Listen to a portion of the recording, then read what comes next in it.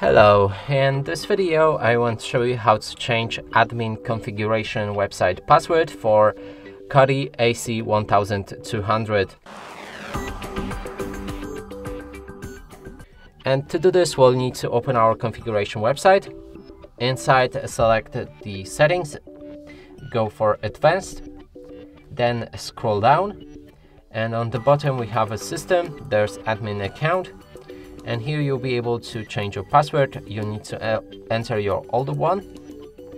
And by default it should be admin. And in the new text enter a new password. So choose whichever you like and click on save and apply to change those settings. And that's it for this video. Hope you like it. Please consider subscribing to our channel. Leave a like and a comment below